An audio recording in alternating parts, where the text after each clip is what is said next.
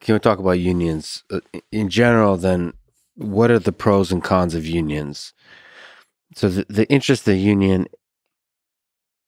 Maybe you can correct me if I'm wrong. I have a lot to learn both about the economics and the human experience of a union. The union's interest is to um, what to protect worker rights and to maximize worker happiness, not the success and the productivity and the efficiency of a company, right? No, I would disagree. Um, so I think a union's interest is in what's collectively bargaining on behalf of workers, because in certain cases, um, you know, I am uh, right now a manager at uh, the Nation magazine, right? Um, if I have a problem with my working conditions or I need a raise or whatever else, I could, with my skill set, my background, my role in the company, I could go to my boss, uh, the owner of the nation, and say, okay, I need to renegotiate my contract uh, on these terms. I could bargain, right? Now, if I was a ordinary worker at like a CVS or something, if I didn't like my conditions and I went to my boss and said, hey, I need a two dollar raise, and you know I need to like be home by eight thirty because you know I I have, I have obligations at home. Uh, the boss would probably say, "I'm sorry, that's not possible." Right? You know, maybe try the Rite Aid down the street or the Walgreens down the street or whatever.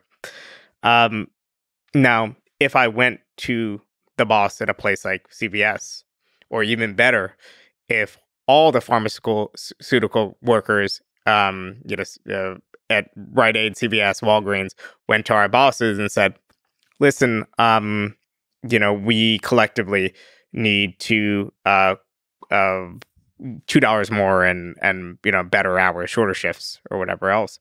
Then they would probably have no choice but to concede. You have to bargain collectively at, at any level. If if you're an a ordinary worker, um, and there are some exceptions, but that's for certain highly skilled workers. But even in in in those cases, of course, all workers are skilled. I mean, just the technical definition.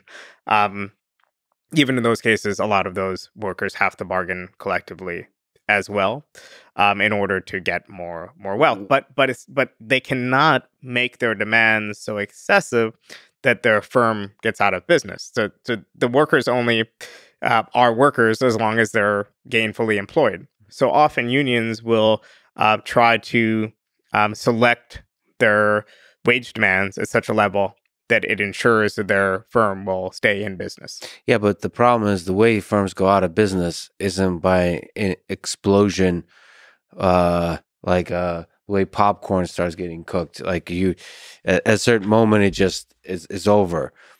You can. It seems like the union can, through uh, collective bargaining, keep increasing the wage, keep increasing the interest of the worker until it suffocates the company that it doesn't die immediately but it dies in like 5 years. So that might still serve the interest of the worker but it doesn't serve the interest of society as a whole that's creating cool stuff and increasing sort of a market that's operating and increasing cool stuff and constantly innovating and so on and uh, creating more and more cool stuff and increasing the quality of life in general. I, I disagree with the premise because great. I think in your even taking your example, that would be better for society. If a firm cannot pay its workers a living wage, but its competitors can, then that firm should will either figure out a way to innovate, develop new techniques, new markets, new ways to be productive, or it should go out of business.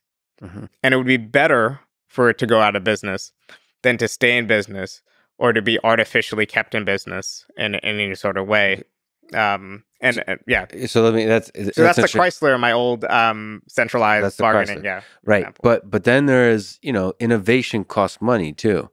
So the flip side of that, I think, to play devil's advocate, is that it incentivizes the automotive in- industry is a probably a good example of that. It incentivizes uh, cutting costs everywhere and sort of whatever that's been making you money currently, figuring out how to do that really well without investing into the long term future of the company for like all the different ways it can pivot, all the different interesting things it could do in terms of investing into R and D. Whenever there's more and more and more pressure on paying uh, a living wage for the workers, it might not, again, it might suffocate and die over the next 5, 10, 20 years, uh, which might be a good destructive force from a capitalist perspective, but it might rob us of the Einstein of a company, right? uh, of the Right. of the flourishing that the company and the workers within it can do over a period of 5, 10, 20 years. Well, this is just a problem with a lot of capitalism, which is about short termism, right? Because the same thing could be said from you're starting a company, you have a plan for it to make a lot of money, but your investors want you want dividends right away. So you have to uh, take away from your long term um, R and D or other plans and deliver short term uh, dividends. That's often why a lot of I think R and D is often rooted in state institutions and research and whatever else is being drawn on. And and also I think that that's a reason why you know the state has some sort of role in fostering firms in either a my version of a socialist economy or a capitalist economy or whatever else to help with these time horizon uh, problems. So I won't dispute that workers could play a role or wage demands could play a role in time horizon problems, but more often than that, it's coming from investors, it's coming from just a host of other market pressures that people might might have. And I would say that in the real world, a lot of um, investment funds don't come from just retained earnings. It comes from a lot of you know sources. So I, I think this is a problem that could be solved through public policy, but definitely exists today as well. So you mentioned living wage. Is there is there a tension between a living wage, and maybe you could speak to what a living wage means, and the workers owning all of the profit of the company? Sort of uh, this kind of spectrum. No, I guess the spectrum is from like no no minimum wage, the lowest possible thing you could pay to a worker. Then somewhere in that spectrum is a living wage, and then at, at the at the top is like uh, all of the profit from the company is owned by the workers. So split to the workers. I mean, I think that any society is going to have to make distributional um, choices.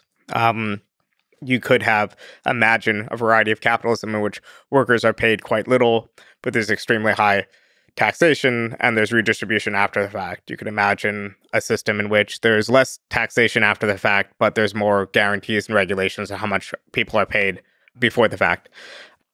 In my vision of a social society, there would be similar to the way that unions work and in my example the centralized uh, bargaining uh, unions would, would work that bargain at the sectoral level and not just at the enterprise level like our unions do do today um, there could be benchmarks set for different um, occupations or wages. Um, and the reason why you would want to benchmark at a worker controlled firm is that you don't want workers self exploiting themselves in order to gobble up market share, Mhm. or because you don't want them collectively deciding, okay, we're going to invest in this longer term time horizon and outcompete other people that way. So you might say, okay, if you do this sort of clerical work, you have to be paid uh, the equivalent of $15 an hour. That's a minimum. But on top of that, you get um, you get uh, you know dividends from from excess profits um, and I think it would also have to be combined with um, public financing for expansions and for development, which could be done in quite a competitive way. So you could have a variety of of banks. You know, in my vision, you know, state-owned banks. But what? How would they decide who to um, invest in and who to not invest in? Who to give a loan for expansion to and who who not to? Because you, don't want it to be like, oh, I'm going to invest in my my nephew's firm and not this other firm, or I'm going to invest in this guy's firm because he's an Italian, but not this guy's firm because he's Albanian, or what, whatever else.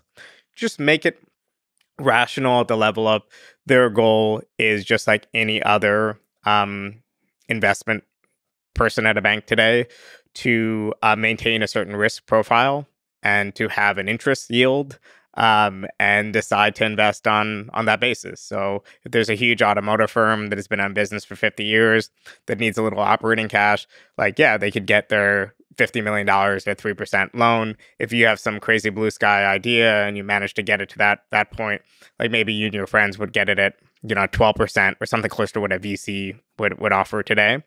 So I only kind of go into these details not because to say that a system doesn't have to in advance map out all the different possibilities, but I think it does have to be willing to accept a lot of things that we know today. You know, I can't give you a version of socialism that's everything's going to be fine, we're going to live harmoniously, and we won't have these sort of tensions and you know, you could hunt in the evening and you know fish in the, you know, afternoon and write criticism, you know, whatever else. Um, I do hope that there's horizons beyond this that we could aspire to. I do have those visions, but for now, I think our task as socialists is to imagine a, you know, five minutes after, you know, midnight, like what what can we do right away within our lifetime um, vision. So that means through some level of central planning, reallocating resources to the workers? So I think the primary mechanism in this private sector under socialism would be a market mechanism, firms competing against each other to expand, uh, connected to a system of public financing. But even at that level, the individual um, bankers and, and public banks and so on would be operating based on their own rationality and the state would certainly shape investment decisions, but maybe no more than they do in a lot of capitalist systems. So the state might already today in a lot of countries decide, you know, we want to invest in green technology. So it's going to be favorable rates for people or tax credits for people investing in green technology. So the state already shapes investment. Um, I think what should be centrally planned, and this is where like I'm proud to sound like an old school socialist, is things like um, healthcare, things like um, uh, transit, things like our um, natural monopolies of, of, lots of types. Uh, you know, I think can be done very well through um, through planning, and we already have plenty of examples. But a lot of this society, I think, would be would be the the private sphere of worker controlled cooperatives uh, competing against each other, weak firms failing uh, successful firms expanding.